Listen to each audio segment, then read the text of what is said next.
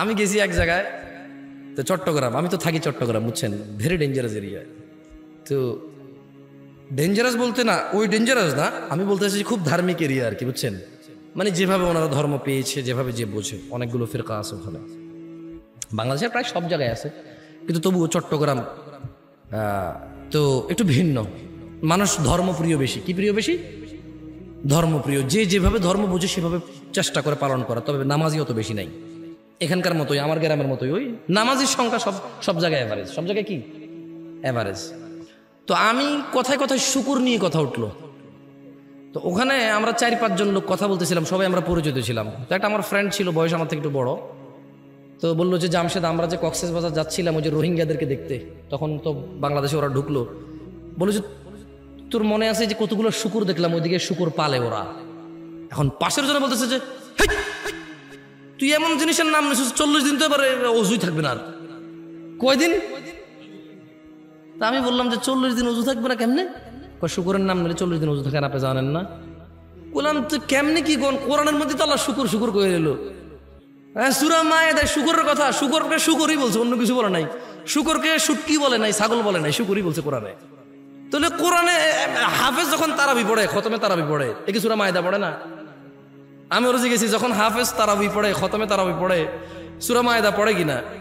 কয় পড়ে? আমি বললাম, তো সুরা মায়েদা পড়লে তো সে খিনজিরও বলে, শুকুরের কথাও বলে। তো তার নামাজই অজু শেষ হয়ে গেছে। চল্লিশ দিন তো তার অজুই থাকবে না এবার তারাবি পড়াবে কেমনে সে? বুঝছেন, ইসলামকে কীভাবে জানে? এখানে মানুষ হাসতেছেন আপনারা, দুঃখ লাগে না? আমি খুব দুঃখ পাইছি যে উনি বলতেছে, কেন জামশেদ ভাই, আপনি জানেন না? শুকুরের নামটা তো চল্লিশ দিন, এই নামা মানে অজুই থাকে না। আল্লাহ আকবার। শোনেন গাজীপুরবাসী ভালো হবেন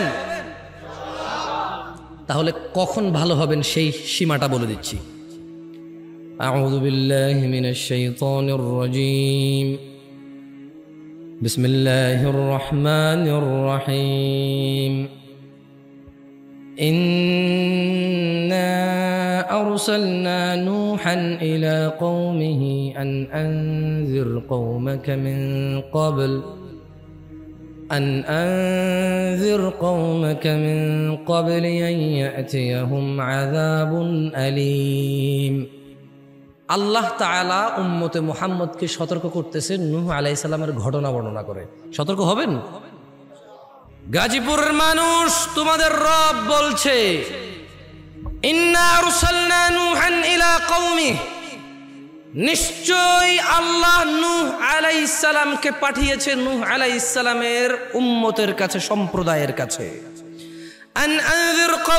মিন ক্বাবলি আন ইয়াতিয়াহুম আযাবুন আলীম। আল্লাহ নূহ আলাইহিস সালামকে বলেছ নূহ, তুমি তোমার সম্প্রদায়কে সতর্ক করো। আল্লাহর কাছ থেকে ধ্বংস, বিপদ আজাব আসার আগে সতর্ক করো। তাহলে সতর্ক কখন হতে হবে? সতর্ক কখন হতে হবে? বিপদ আসলে সতর্ক হয়ে আর লাভ? আল্লাহ নূ আলাইহিস সালামকে পাঠিয়ে বলছেন, নিশ্চয়ই আমরা নুকে পাঠিয়েছিলাম তার জাতির কাছে সতর্ককারী হিসেবে। যাতে সে তার জাতিকে সতর্ক করে, আল্লাহর পক্ষ থেকে গজব নাজিল হওয়ার পূর্বে।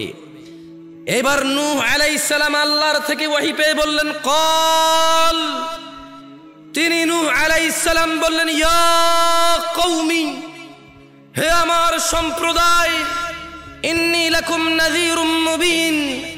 হে আমার সম্প্রদায়, শুনো তোমরা, নিশ্চয়ই আমি নূহ তোমাদের জন্য একজন সতর্ককারী।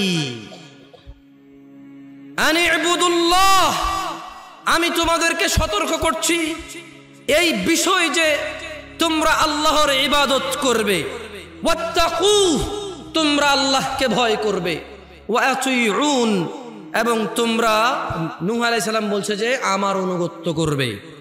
তাহলে নূহ আলাইহিস সালাম তার জাতির কাছে কি জন্য গিয়েছে? সতর্ক করতে। কি জন্য? আজাব আসার আগে সতর্ক করতে। একটু আমার সাথে কথা বলিয়েন, কেমন? আমি আগেই বলেছি, খুব বেশি মজা পাবেন না। এটা শিক্ষার জায়গা। শিক্ষা মানুষের অত ভালো লাগে না। এটা প্রেশার ক্রিয়েট করে। দেখেন না পোলাপান স্কুলে যেতে চায় না। পোলাপান কোথায় যেতে চায় না? চকলেট দেয়, কত কিছু দেয়, স্কুলে যায়? আর খেলার মাঠে গেলে আপনি খুঁজেও পান না, কোন মাঠে আছে তারা খুঁজেও পান না, পান? তো এখন আজকে এখানে শিক্ষা হবে, এটা ক্লাস হবে, ইনশাআল্লাহ। আমি ওয়াজ করতে জানি না হুদয় আমরা নিয়ে আসছে। আমার কথা হচ্ছে, একটা ক্লাস হবে, আধা ঘণ্টা, এক ঘণ্টা, চল্লিশ, পঞ্চাশ মিনিট একটা ক্লাস হবে, যেখানে আপনি কিছু জিনিস শিখবেন। এবার সম্পূর্ণ আপনার নিজের অভিমত, নিজের ইচ্ছা আপনি আপনার রবের পথ অবলম্বন করবেন নাকি ব্লিসের পথ অবলম্বন করবেন? আপনি নিজেকে সংশোধন করবেন নাকি নিজেকে উশৃঙ্খল রেখে আল্লাহর জাহান্নামের দিকে, আল্লাহর রাগের দিকে চলে যাবেন? সিদ্ধান্ত কার? আপনার। আর আমি কি করতে পারি? আপনাকে একটা জিনিস শুনাই শিখাই যেতে পারি, ঠিক কিনা? তো শুনুন নৌ আলাইসালাম তিনটা উপদেশ দিয়েছে। কয়টা? কয়টা? প্রথমে গিয়ে বললেন, হে আমার জাতি, আমি তোমাদের কাছে স্পষ্ট সতর্ককারী। আর শুনে নাও আমার উশৃঙ্খল জাতি, শুনে নাও আমার গুনাহাগার জাতি, শুনে নাও আমার আল্লাহ দ্রোহী জাতি। আমি তোমাদেরকে সতর্ক করছি, আনে বুদুল্লাহ তোমরা একমাত্র আল্লাহর ইবাদত করবে। ভবিষ্যতের জন্য টিয়া পাখির কাছে যাবে না, মেয়ের বিয়ের জন্য চিরুনি পড়া নিয়ে এসে মাথা আশ্রাবে না। শোনো আমার জাতি, তোমরা কোরআনকে অপবিত্র অবস্থায় গলায় ঝুলিয়ে রাখবে না, গায়ে মাখবে না, টয়লেটে যাবে না এটাকে নিয়ে। তোমরা এই কোরআনুল করিম পড়বে, পড়ে সেই অনুযায়ী আমল করবে, নিজের হৃদয় নরম হবে এবং জীবন পরিচালনা করে আল্লাহর সন্তুষ্টির দিকে তোমরা জান্নাতে চলে যেও। শোনো আমার জাতি, আলী আবুদুল্লাহ আল্লাহ ছাড়া অন্য কারও ইবাদত হবে না। মুশকিল উদ্ধারকারীকে সন্তান দাদাকে সুস্থতাকারীকে ভালো মন্দের নির্ধারণ কে করে? অন্য কারও কাছে কি আছে? আল্লাহ ছাড়া আল্লাহর বিপক্ষে কেউ কি আপনাকে আশ্রয় দিতে পারবে? আল্লাহ যদি আপনাকে আশ্রয় দেয়, কেউ কি আপনার ধ্বংস করতে পারবে? আল্লাহ যদি আমার আর আপনার জন্য জাহান্নামকে নির্ধারণ করে, কেউ কি উদ্ধারকারী আছে?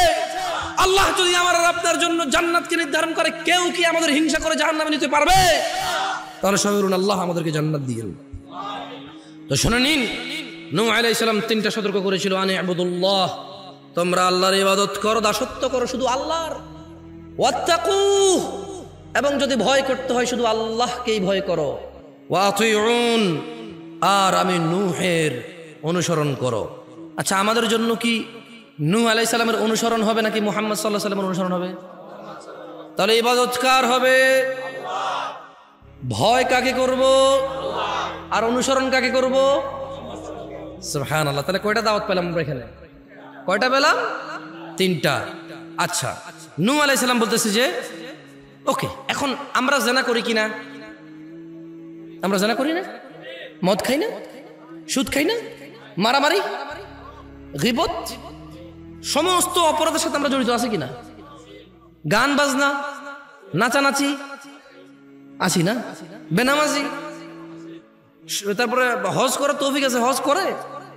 জাকাত দেওয়ার তৌফিক আছে, জাকাত কি টাকা দিয়ে দেয় না কাপড় দিয়ে দেয়, ট্রাক ভরা তার মানে প্রত্যেকটা অন্যায়ের সাথে তো আমরা লিপ্ত লিপ্ত বরঞ্চ ইসলামের যে হুকুম, আহকাম, যেভাবে এগুলোকে পালন করা উচিত, সেভাবে পালন না করে উল্টা নিজের মতো করে করি কিনা? করি কিনা? তাহলে নূ আলাইসালাম তার জাতিকে কয়টা ইবাদতের কথা বলল? প্রথমটা কি? আপনারা মনোযোগ দিয়ে শুনতেছেন না। ওয়াল্লাহি, দেখেন, গাজীপুরের মানুষ, মনোযোগ দিয়ে শুনুন। মজা না লাগল, ইনশাআল্লাহ। আজকে শুনে যান, শিখে যান। দেখবেন জীবনে যেদিন ভালো হতে চাইবেন, আপনার জানা থাকবে যে আপনি কীভাবে ভালো হবেন। যেদিন আপনার মনে হবে আল্লাহর ক্ষমার দরকার, সেদিন আপনি জেনে যাবেন কীভাবে ক্ষমা পায়। যদি আজকে এই মাহফিল মনোযোগ দিয়ে শোনেন, আরে হ্যাঁ আমি চলে যাওয়ার পরে এই মাহফিল চলে যাবে না তো। কারণ আমি কোনো কিস্সা কাহিনী বলতেছি না এখানে, কোনো গল্প উদাহরণ দিচ্ছি না। সুরা নু পড়ে শোনাচ্ছি। কি পড়ে শোনাচ্ছি? আর আপনার ঘরে এই কোরআন আছে, এই সুরা আপনার ঘরেও আছে। যখন মর্জি পড়ে নিজেকে সংশোধন করে নিয়েন। খুব সুন্দর আলোচনায় আসছেন। আর আমি দীর্ঘ অনেক দিন পরে সুরা নুহ নিয়ে আলোচনা করছি। দীর্ঘ অনেক দিন পর। আমার আমার খুব ফেভারেট সুরা এটা। কারণ আমার কাছে মনে হয় এখানে সব কিছু আছে। একজন মানুষের সর্বোচ্চ দাওয়াত মানে সর্বোচ্চ একজন মুসলমান কি করবে? এরপরে সে কি কি পাবে? যদি সে তারপরেও ব্যর্থ হয় এগুলা করতে, তাহলে সে কি করবে? ব্যর্থ হওয়ার পরও যদি সে এগুলা করে, তাহলে সে কি কি পাবে? সব আছে এখানে। আল্লাহ তাহলে শোনেন, তাহলে আমরা কার ইবাদত করলাম? ভয় কাকে পাইলাম? অনুসরণ কাকে করলাম?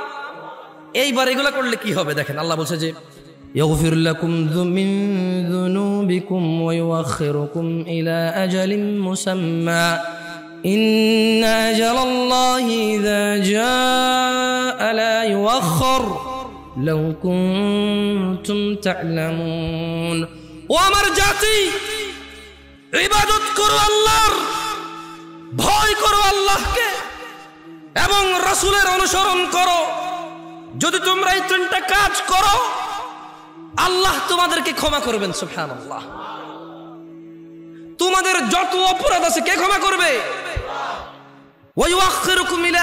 মুসাম্মা, তোমাদেরকে তিনি এই যে অপরাধগুলো করে ফেলেছো, যদি তোমরা এই অপরাধ, অপরাধী তোমরা, একেবারেই তোমরা আল্লাহ দ্রোহী, আল্লাহর এবং তার রসুলের কোনো কথা মানছো না, এবার শুধু আল্লাহর ইবাদতটা করো, আল্লাহকে ভয় করো, তাহলে আল্লাহ নবী বলছে যে আল্লাহ তোমাদের অপরাধ ক্ষমা করবে ওয়াইওয়াখিরুকুম ইলা আজালিম মুসাম্মা। এবং তোমাদেরকে তিনি একটা নির্দিষ্ট সময় দেবে। মানে তিনি, তিনি- তোমাদেরকে হায়াত দেবে, বাঁচায় রাখবে, যাতে ভালো কাজ করতে পারো। মানে গুনাহগার হয়ে তুমি মরবা না। আর কি লাগবে? একটা মানুষ গুনাহগার হয়ে মরবে না। সে আল্লাহর ইবাদত করবে, আল্লাহকে ভয় পাবে, রাসূলের অনুসরণ করবে, তাহলে আল্লাহ তাকে সময় দিবে, অবকাশ দিবে, নির্দিষ্ট একটা সুযোগ দিবে, যাতে সে ইবাদত করে আল্লাহ প্রিয় হয়ে পৃথিবী ত্যাগ করতে পারে। এবং নু আলাইহিস সালাম বলতেছে, ও আমার জাতি, জেনে রাখো যা আল্লাহর দেওয়া নির্দিষ্ট সময় যা যদি আল্লাহর দেওয়া মৃত্যু তোমার জন্য চলে আসে, আল্লাহর দেওয়া ধ্বংস যদি তোমার জন্য চলে আসে দেরি হবে না। লাউ কুনতুম তা'লামুন, আমার জাতি, যদি তোমরা জানতে, তাহলে আমরা প্রায় এখন ছয় সাতটা শিক্ষা পেয়ে গেলাম। কটা শিক্ষা? কটা শিক্ষা পেলাম? আমি বলতেছি, দেখেন তাহলে নূহ আলাইসাল্লাম দাওয়াত দিল আল্লাহর ইবাদতের এবং আল্লাহকে ভয় করার এবং নূহ আলাইসাল্লামকে অনুসরণ করার, যেহেতু ওনার জাতি। এই তিনটা দাওয়াত আচ্ছা।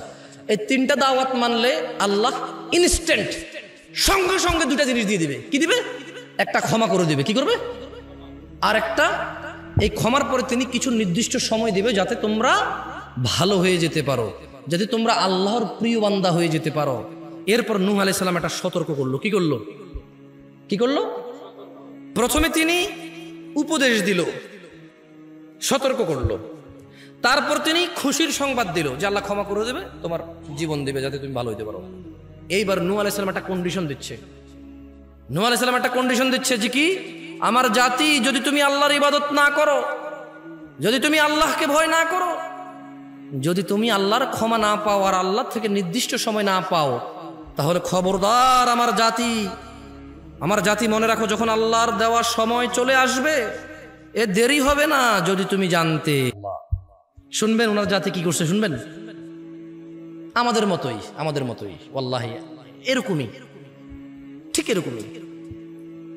আজকে যারা নামাজ পড়ি না, রাসুল সাল্লাহ সাল্লাম কি নামাজ পড়তে বলেনি? তিনি যদি বেঁচে থাকতেন, তিনি কি নামাজ পড়তে বলতেন না? আমি যে বলতেছি নামাজ পড়েন এটা কি আমি আমার কথা বলতেছি না, ওনার কথা বলতেছি? রাসুল সাল্লাহ সাল্লাম কি ওনার উম্মদের মধ্যে বেঁচে নাই? তিনি কি তিনি কি ওনার উম্মদের মধ্যে বেঁচে নাই? আমাদের এই যে আমরা মোহাম্মদ সাল্লাহ সাল্লাম নাম নিচ্ছি, এটাই তো ওনার জীবন। এটাই তো ওনার হায়াতের বরকত। এটাই তো ওনার হায়াতের বরকত।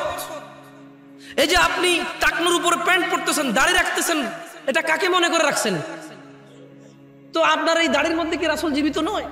হ্যাঁ আল্লাহ আপনি এটা কাকে মনে করে রাখছেন? এই যে দেখছেন আপনি ওনাকে ভোলেন নেই। মানুষ ওনাকে ভোলেনি। ওনার স্মরণ জীবিত। ওনার স্মরণ কি? ওনার স্মরণ কি?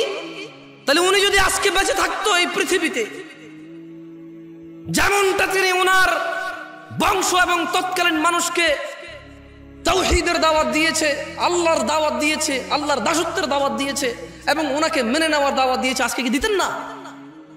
তাহলে ওনার উম্মত হয়ে এই উম্মতের আলেমরা কি আপনাদেরকে নামাজের দাওয়াত দেয় না নবীর পক্ষ থেকে? আপনাকে কি দাড়ি রাখার দাওয়াত দেয় না নবীর পক্ষ থেকে? হালাল খাওয়ার দাওয়াত কি দেয় না নবীর পক্ষ থেকে? ভদ্র, নম্র, ভালো হয়ে থাকার দাওয়াত কি দেয় না নবীর পক্ষ থেকে? কোরআনুল করিম পড়ার জন্য মুক্তবগুলোকে নবীর পক্ষ থেকে খোলা নয়? তো যারা আপনারা অস্বীকার করেন, অবাধ্য হন, তাহলে আপনারা কি হুজুরের অবাধ্য হলেন, মোল্লার, মুফতির, ওয়াইজেন, এর শেখ, এর অবাধ্য হলেন নাকি রাসুল সাল্লাহ অবাধ্য হলেন? কার? শোনেন, নুহ আলাইসাল্লামের জাতি ছয়টা উপদেশ নিল না। নুহ আলাইসাল্লামের জাতি ওনাকে সতর্ককারী হিসেবে বিশ্বাস করেনি। এও বিশ্বাস করেনি যে আল্লাহকে ইবাদত করতে হবে এবং আল্লাহকে ভয় করতে হবে আর নূ আলাইসাল্লামকে মেনে চলতে হবে, এটা বিশ্বাস করেনি তারা। তারা এটাও বিশ্বাস করেনি যখন তাদের মৃত্যু চলে আসবে। আর সময়? এবার নূ আলাইসাল্লাম আল্লাহর কাছে বলতেছে, কার কাছে? দেখেন কত হৃদয় বিধারক ঘটনা এখানে। ওয়াল্লাহি, এটা আপনি যদি নিজে নিজে পড়েন, আপনি কাঁদবেন। আমি তখন চিল্লা চিল্লা বলতেছি, না, আমার কান্না আসবে না, আপনার আসবে। তবে সুরা নুহ যদি আপনি তর্জুমা নিজে নিজে পড়েন, আপনি কান্না ধরে রাখতে পারবেন না। নূহ আলাই ইসলাম একজন রাসূল বলতেছে, কল। নূহ আলাই ইসলাম বললেন, রব্বি, ও আমার আল্লাহ আল্লাহ, আমি আমার জাতিকে দাওয়াত দিয়েছি দিনে এবং রাতে। ফালাম ইয়াজিদহুম দুআই ইল্লা ফিরারা আমি এদেরকে যত দাওয়াত দিছি তারা তত পালাইছে তারা তত বেপরোয়া হয়ে গেছে আমি এদেরকে যত বলছি আপনার ইবাদত করতে আপনাকে ভয় করতে وإني كلما دعوتهم لتغفر لهم جعلوا أصابعهم في آذانهم واستغشوا ثيابهم وأصروا استكبارا استكبارا আমি যখনই তাদেরকে দাওয়াত দিচ্ছি আল্লাহ যে আপনি ওদেরকে ক্ষমা করবেন তখনই তারা তাদের কানে আঙুল দিয়ে দিয়েছে তারা তাদের কানে কে দিয়েছে যখনই নূ আলাইসালাম তার জাতিকে আল্লাহর কাছে নূ আলাইসালাম আল্লাহর কাছে বলতেছে আল্লাহ কি এগুলো জানে না কি আল্লাহ জানতো না এগুলা আল্লাহ জানতো তাহলে নূ আলাইসালাম কতটা কত দাওয়াত দেওয়ার পরে এবার আল্লাহকে বলতেছে আল্লাহ إني دعوت قومي ليلا ونهارا আমি আমার জাতিকে দাওয়াত দিয়েছি রাতে এবং দিনে।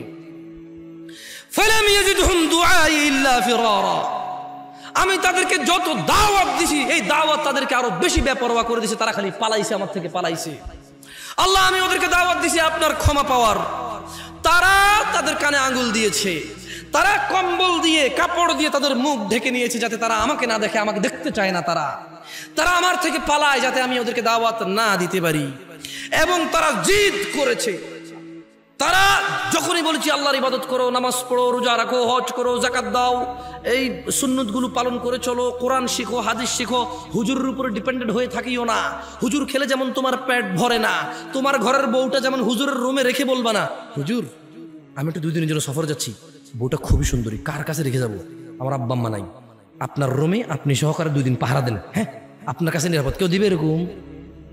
কেন রে ভাই? হুজুর না সমস্যা হুজুর তো। আমি তো দেশে আসার পরে মানুষ হুজুরের প্রতি যে শ্রদ্ধা দেখছি, আমার মনে হচ্ছে যে আল্লাহ, আমি যদি বিয়ে করি, ছেলে সন্তানের চিন্তা করব, এটা দুশ্চরিত্র ছেলে সন্তান কেমন হলো? হুজুর কেমন জানে? ফলামায় কেমন হয়?